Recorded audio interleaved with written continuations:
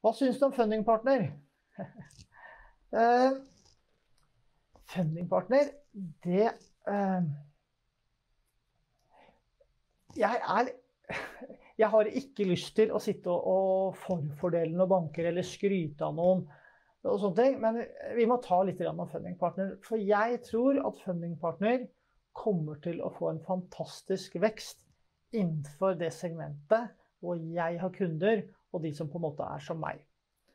Grunnen til det er at det er ganske lett å få finansiering på gode prosjekter.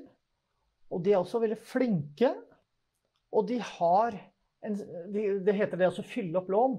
De har en veldig sånn placing power. Det, det, det heter at eh, hvis du kommer etter huslån eh, skal finansiere et prosjekt, så har de mange, mange små investorer som skyter inn fra 50 000 til noen hundre tusen, og så får du de pengene. Men det er dyre penger. Men dyre penger, når du på en måte er profesjonell, det er en del av gamet for å få finansieringen på plass. For som eiendomsutvikler så tror mange at man driver med eiendom og driver med arkitekter og plantegninger og puter og gardiner og bygger betongsåle. Det gjør man. Men det er veldig mye tid på å få den finansieringen på plass.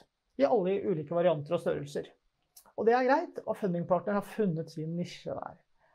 Eh, men sånne tjenester kommer vi til å se mer av, og det er et godt verktøy for eiendomsutviklere. Jeg kan også godt si det at jeg har flere kunder som egentlig passer store, som bruker fundingpartner for å få ja, finansiert arbeidskapital, mellomfinansiering, komme i gang etc.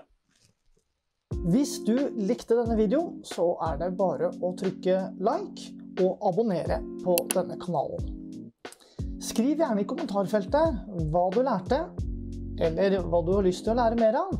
For jeg leser alle kommentarene, og så kan jeg lage nye videoer. Og husk også at eh, du kan eh, følge linken i beskrivelsen under hvis du har lyst til å lære hvordan du skal kjøpe deg en ny utleiebolig, eller hvordan du skal tjene mest mulig penger på eiendom, f.eks.